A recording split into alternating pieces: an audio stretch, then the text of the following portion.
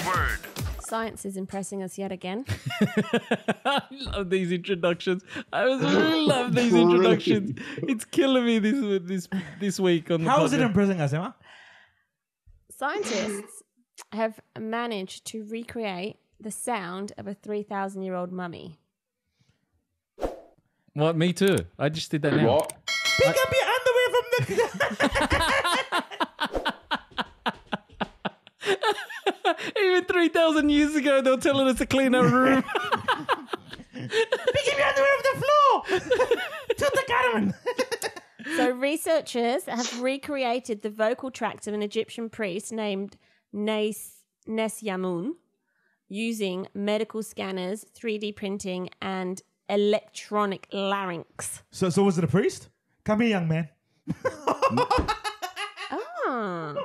Um, researchers basically they so other than the tongue being a bit like worn away because you know it's been like three millennia whatever mm. but they actually yeah got used the vocal cord track whatever and 3d printed it and then used being able to create the sound i don't know you have to see a picture this is pretty impressive. But what? what, what you wanna hear the what- what- sound? yeah, all right. But what's the point? Ouch. What do you mean what's the point historians Yeah, but like to gain what? Yeah, but it's not. Like you're not gonna pick up his language. He- he's not speaking in his language. He's just hearing how he sound. Yeah, like ow. Oh, Yeah, but uh, oh, oh, like- oh, but, ah, but oh, it's not though, is it? what do you Yeah, mean it's not. Yeah, I don't. Yeah, well, can can we Like, hear it's this? just made up. yeah, I mean, I it's just someone going, so. "This is how a mummy sounded," and everyone going, "Oh."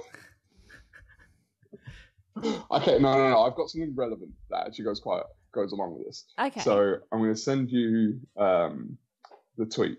This went uh, semi semi viral. We'll go with that. Um, I don't know if it was this specific tweet because I just had to search a version of it.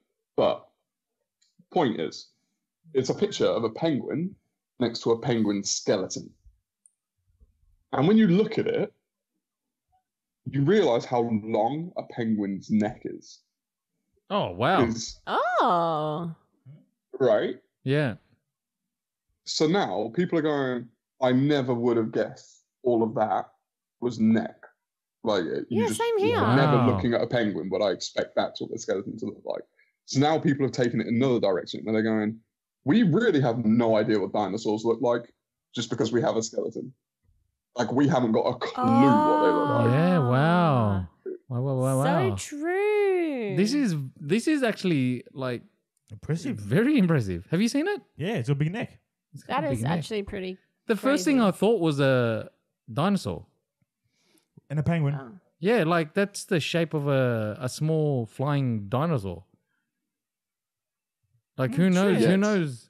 Hey. Realistically, it's the shape of a fat, waddling bird well, fly. realistically, yeah. But like, let's say you found that you found that out in like three thousand, year three thousand, and you're like, oh, back then this used to be prehistoric. Uh, uh, this this skeleton shows that it used to fly, and we go, no, it didn't. It was a fat, fat, chubby, no, full of fat bird that we, lived in We won't ice. say that because we'll be long gone. It will be long gone. Unless the podcast is So is what still peop- going. I wish I could find the one that had like the dinosaur thread because people were sharing them pictures of dinosaur skeletons and what they could possibly look like. And I thought one of the most interesting ones was the T Rex, and they put more like blubber around it. I, I don't know what you want to call it, but like more Yeah. meat around the skeleton than what we typically look at. Yeah. And it looks like a giant, like um, like a robin, like the bird, the robin. It looked like a giant bird like that. Um, and it and when I saw that, I was like, that actually makes more sense than what we think dinosaurs look like. So instead of being ferocious, they're probably like just these massive, giant, Birds. cute panda things. did you did you see the toucan skeleton? No. Look at the toucan. How does Oh, that we go. neck support the? Did you see the oh, toucan? I got, I got the T Rex bird. I The can't find the sound. Yeah, the toucan skeleton. Skeleton. It's in uh, Sad Bitch Club Sad bitch club. under Andrew Oh, I'm Kalen. losing you guys. Oh man, that's that. That is blowing my mind. The skeleton. Mind blown. This Load. is unreal. Low. Well, listen, right? Mm. So you guys aren't impressed with the three thousand year old. Um, I heard the sound earlier, and it kind of sounds like bad, bad. But they admit that when when that you know if you're alive, it changes as you blah blah blah. So that it's not going to sound exactly the same, Mm. but So it's pretty of it? impressive. But then I thought I'll look up some mummy facts. Did you know Mm. the process of mummification, like what they actually do? Mm-hmm. Do you know Yeah. what? They, em- they, they ta- ta- take out your guts, brain. They suck out your brain through your nose. Yes, CJ. Yes. They. I'm surprised the tongue was not in a jar. so with the brain, Wait, wait, wait. I want to hear CJ talk more. Okay. Do you know anything more? Because I thought I thought they took all the innards. Because when they wrap it, at least that way it doesn't decompose as quick. Some of the time they'll take them out and leave them out, and sometimes they put them back, but they never put the brain back. No, but they. I I thought they put them in jars and put them all around the room. Yeah, they can do that too. Wow, there you go. So the brain, they remove the brain with brain hooks Yeah. and pull it through your nostril. Wow. How? Wait. Wait, how? Easy, you're dead. You're not gonna say ouch. Hold on. Yeah, but how does your brain fit through your nostril? It's not coming out in one big piece.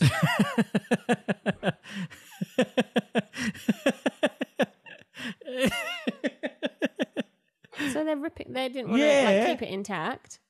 they just put it in a jar. Also, remember, think of think of a human skull. Like the nose cavity in the skull is pretty big.